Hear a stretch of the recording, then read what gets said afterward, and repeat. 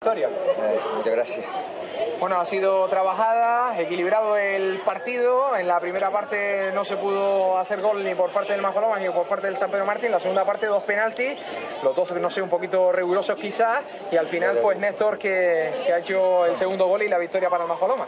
Hombre, si tú ves que el, el del Majoloma fue riguroso, fue una patada que no molestaron ni ellos. Fíjate, fue un penalti clarísimo.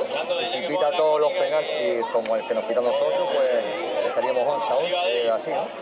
Pero eh, yo creo que merecimos la victoria porque hicimos muchas más ocasiones claras que ellos, pero los partidos preferentes son muy disputados y hasta el último minuto hay que aceptamos poniendo delanteros arriba, alentando a Juanfra que es central, a, delantero y hicimos un poquito más de hincapié en ese sentido y mira, al final lo conseguimos y gracias a Dios los primeros tres puntos para nosotros, claro.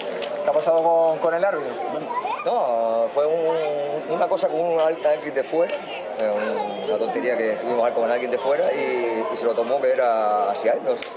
Estaba todo el mundo riéndose porque es una cosa que, además todo el mundo veía que con, una persona de fuera, que era una cosa de cachondeo, de que no te quiero ni ver, payaso. Y tonterías de esas que dice uno y al final se lo tomó que creyendo que era para él, pero bueno, esas son cosas que no tienen que pasar en el fútbol porque tienen que estar, eh, a mí que, le dé una patada a tanto un contrario como a uno de los míos.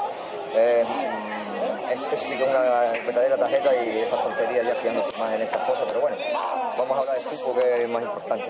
Bueno, al final lo importante, la victoria, la primera de la temporada, después de haber arrancado con, con derrota y, me imagino que, que, a seguir y a seguir trabajando y a seguir sumando puntos.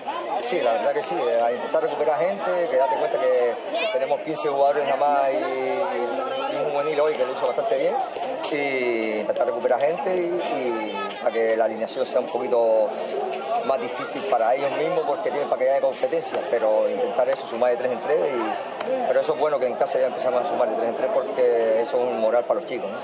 Bueno, felicidades Orlando y a seguir.